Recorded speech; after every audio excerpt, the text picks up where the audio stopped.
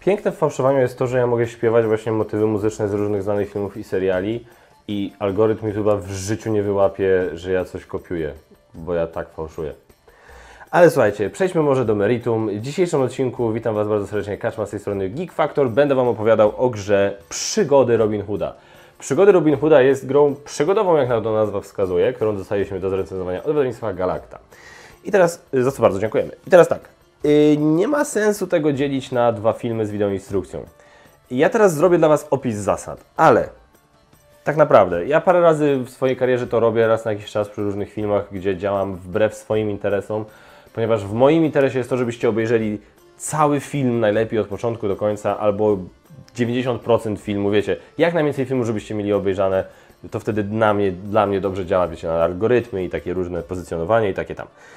Natomiast teraz znowu, tak jak przy niektórych filmach, zadziałam, zadziałam właśnie przeciwko swojemu interesowi, ponieważ serio, przeskoczcie ten etap z zasadami. Opowiem, ja Wam tak naprawdę nie wytłumaczę, jak ta gra działa, ja Wam powiem, czego się możecie spodziewać po tej grze, jak mniej więcej będzie przebiegała rozgrywka, ale prawda jest taka, że będziecie zaczynali tę grę od pierwszego rozdziału tutaj w tej księdze. I ten rozdział siłą rzeczy Was poprowadzi przez zasady przeprowadzi Was przez wszystkie zasady gry. Czy będziecie tego chcieli, czy nie. Więc nawet jak będziecie znali tę grę, to i tak będziecie musieli to wykonać, tak? Przejść przez te wszystkie zasady. Więc serio, po prostu usiądźcie. Banalnie prosta gra ta jest z punktu widzenia mechanicznego. Usiądźcie, cieszcie się grą. Jak już musicie, to proszę bardzo, przeczytajcie najpierw ten arkusz tutaj, no, o, o tym, jak się ruszacie po planszy. Ale dobra. Powiem Wam co nieco, jak ta gra działa, potem wrócimy na górę, powiem co ja o tej grze sądzę.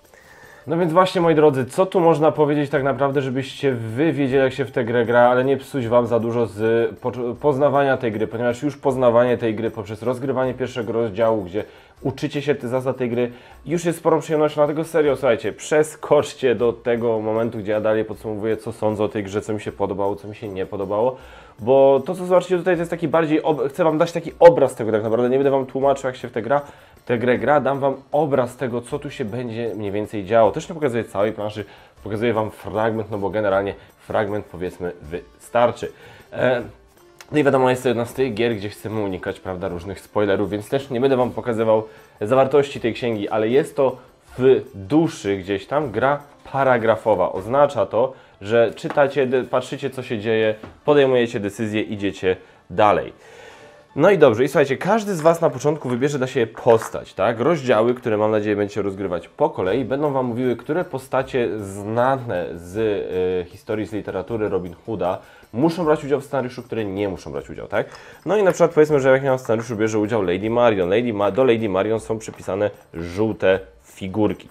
Więc jak się domyślacie, ja bardzo często, ci, którzy mnie znają oczywiście, ja bardzo często grałem Lady Marion. No i teraz słuchajcie, w jaki sposób, co się dzieje w naszej kolejce? Jak w ogóle przebiega rozgrywka? Otóż od momentu, jak już zrobimy wszystko, tak, wybierzemy sobie ten rozdział, prawda, tutaj w naszej księdze, poczynimy wszelkie czynności przygotowawcze, oznacza to, że na przykład niektóre tutaj e, takie te płytki na tym, na, e, na planszy zostaną zamknięte, ale niektóre odsłonimy na powiedzmy stronę, tutaj mamy takich strażników, albo to jakieś takie strony ze znakiem zapytania. Zrobimy wszystkie przygotowania, dowiemy się też, gdzie jaka postać zaczyna, tak?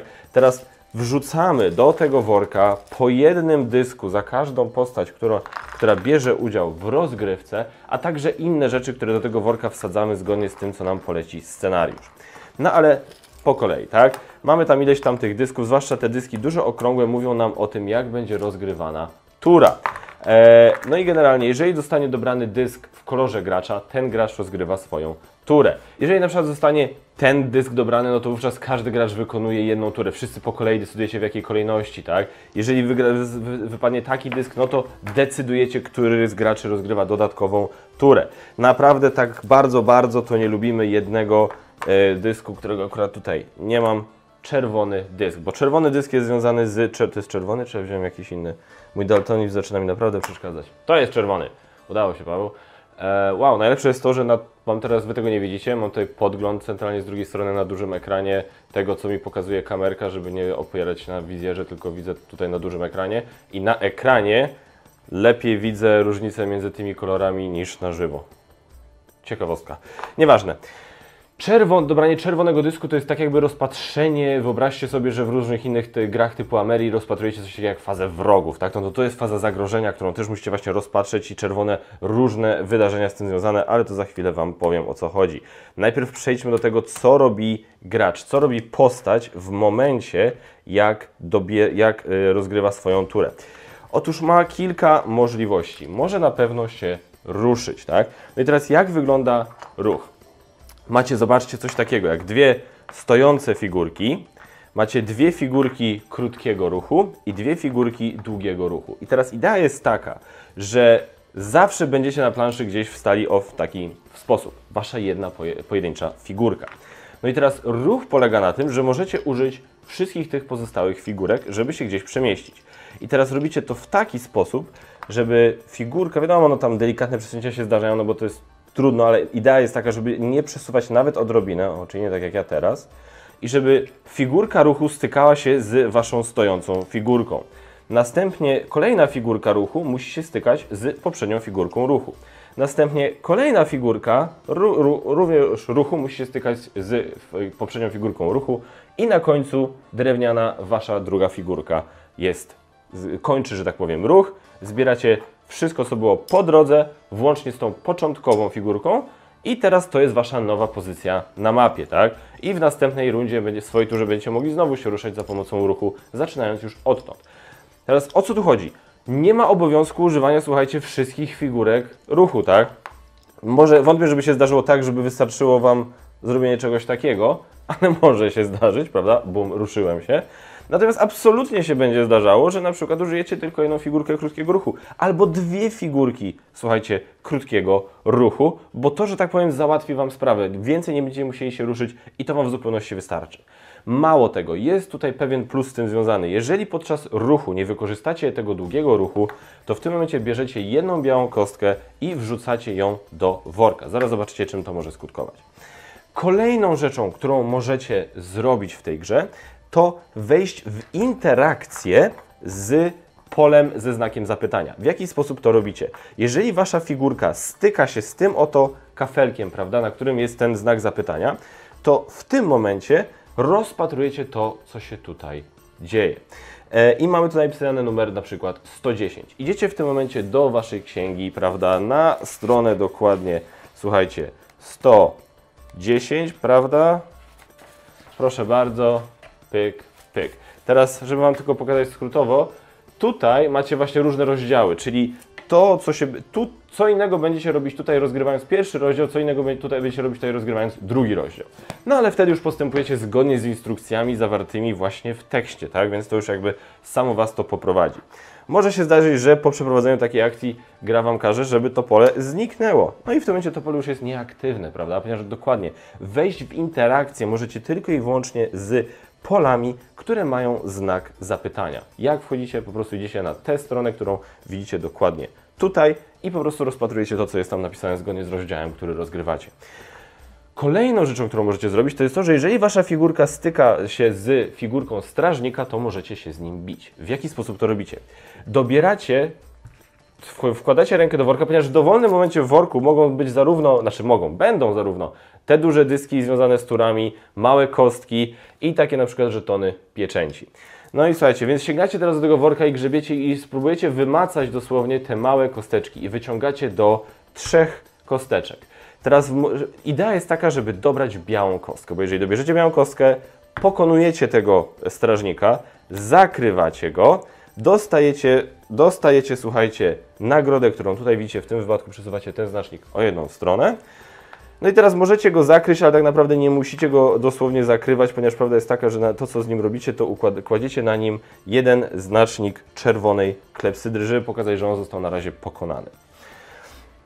Yy, bo, a tu co się dzieje, dlaczego pokonany to, i o co chodzi z tą klepsydrą, to zobaczcie później.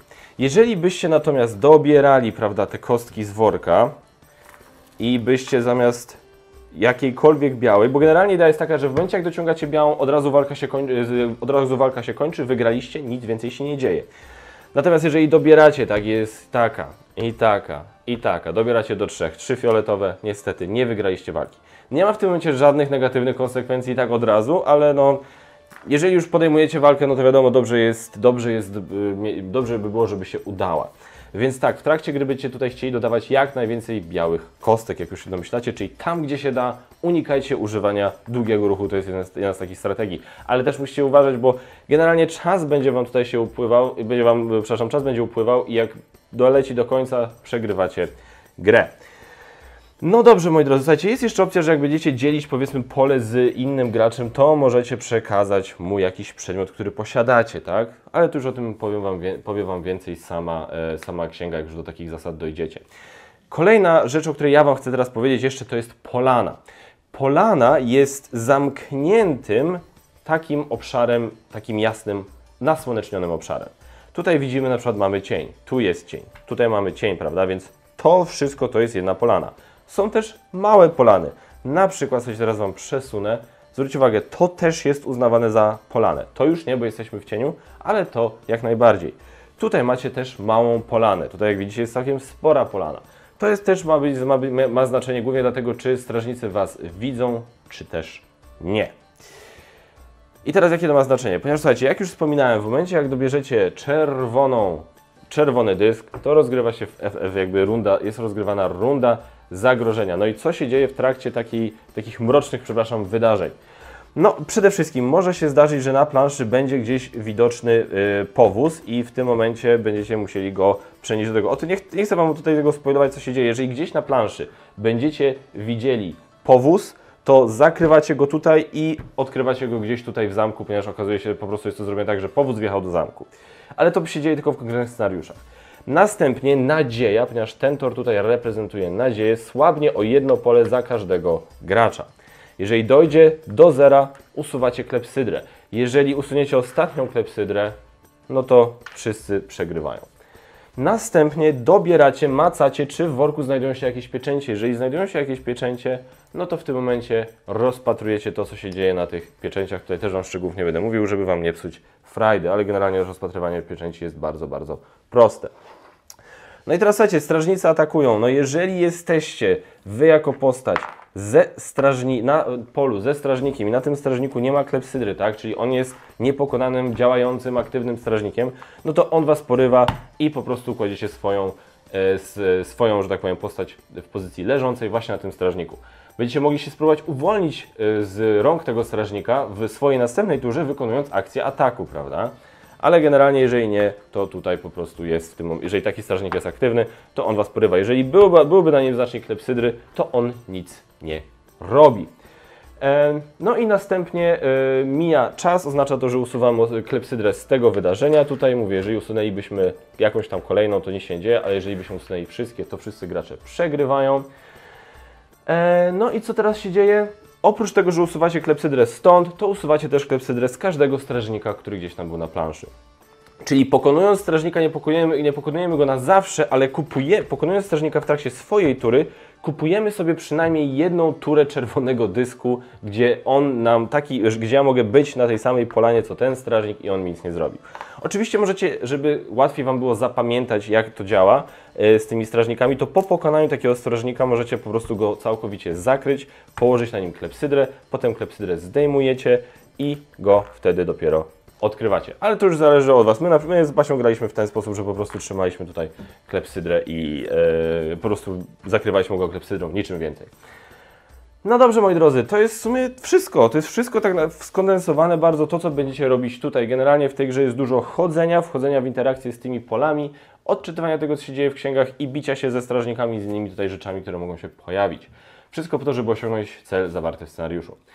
Jeżeli macie jakieś pytania co do rozgrywki, zapraszam Was do komentarzy, ale generalnie mówię, zachęcam Was do tego, żebyście po prostu poznali tę grę, bo tutaj naprawdę jest to banalnie proste.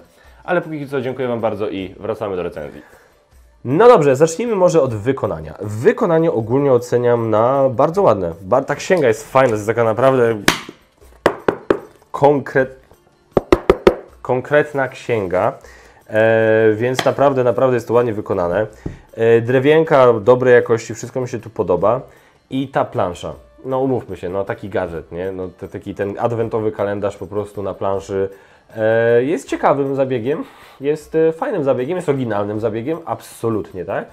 E, mam troszkę wątpliwości co do trwałości tych elementów, na zasadzie tam po dwóch rozgrywkach już co niektóre, bo niektóre też elementy tej planszy są wykorzystywane na przykład w większej liczbie scenariuszy niż inne.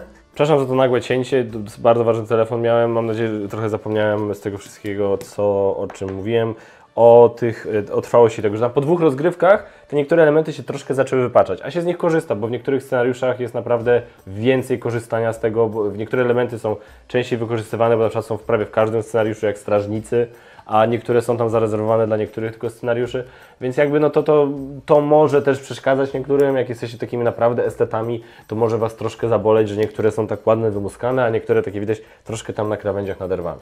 Ale to jest tak naprawdę jedyny zarzut, który ja mogę mieć do wykonania. Eee, informacje pudełkowe, słuchajcie, wiek 10+, plus. ja Wam zaraz powiem, co ja sądzę o tej grze tak naprawdę, jeśli chodzi o to, z kim się w to powinno grać. Ja naprawdę nie widzę powodu, żeby z ośmiolatkiem, który, czy ośmiolatką, która, którzy, którzy są ograni, sobie z tym spokojnie poradzili. No, naprawdę, czy Wasze dziecko myślicie nie ogarnie tego, żeby położyć o jeden obok drugiego? Panie, że to zobaczycie, proszę w ten sposób to zobaczyć. O, tak? A Wy im możecie czytać. Albo nawet nie. To jest napisane naprawdę prostym językiem. I, i w tym momencie zawsze dobra okazja do nauki czytania. Moje zdanie. E, liczba graczy 2 do 4. Myśmy grali w dwie osoby i graliśmy w trzy osoby, jak żeśmy to przetestowali to z młodym. I e, więc na cztery osoby nie powiem. Natomiast jest spoko. Naprawdę jest to spoko, fajnie się to skaluje. E, I jak było nas trzech, było tam trochę lepiej, trochę ciekawiej, było fajniej, tam można było się porozdzielać. Przez ten system tego, jak te tury działają, czyli z tym wyciąganiem dysków, to jakby nie było nigdy specjalnych dłużyzn, było to w miarę sprawiedliwie rozprowadzone. Um, więc jakby tutaj, tutaj nic nie jestem w stanie złego na, na ten temat, temat skalowania powiedzieć. Czas gry 60 minut, pojedynczy scenariusz tak, pierwszy pójdzie Wam szybciej. To od razu mówię. Sama gra jak mi się podoba. Jak ja jeszcze raz kiedyś usłyszę od kogoś, że recenzenci nie są potrzebni, to ja się wnerwię.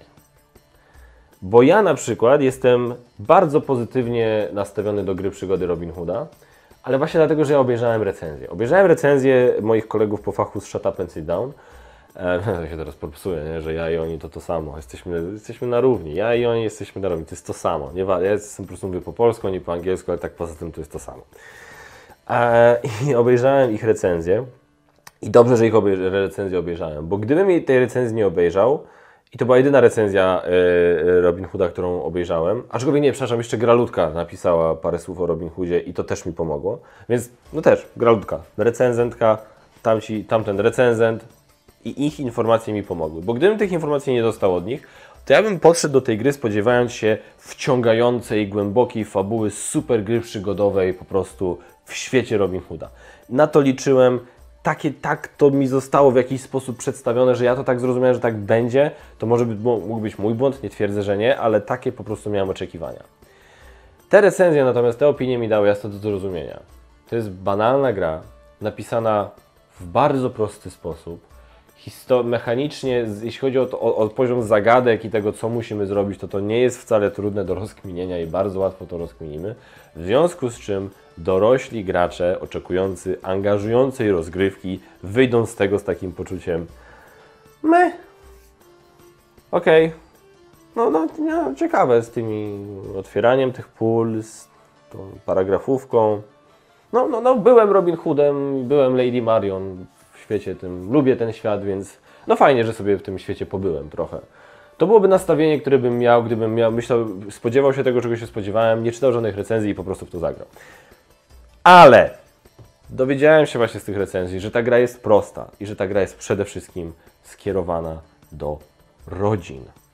Słuchajcie, jak zagraliśmy to z młodym, zupełnie inne wrażenia podjaranie po prostu, tam słyszałem jeszcze inne opinie, że ktoś stał nad stołem całą rozgrywkę, że, że po prostu wiecie, o, ta zabawa z tym otwieraniem tego, to czytanie, że tak było, jest Robin Hoodem i tak dalej, no to po prostu się udziela i to się udziela dziecku, jak się udziela dziecku, to radość dziecka udziela się dorosłym. W związku z tym absolutnie, jako grę familijną, polecam Wam tę grę całym swoim serduchem. Będziecie się świetnie bawić przy rodzinnym stole, odpal, odpalając sobie, a dobra, to teraz sobie może po śniadaniu rozegrajmy godzinkę, jedną przygodę Robin Hooda. No super, no lepsza opcja niż obejrzenie, nie wiem, animowanego Robin Hooda, Walta Disneya, czy czegokolwiek innego związanego z Robin Hoodem.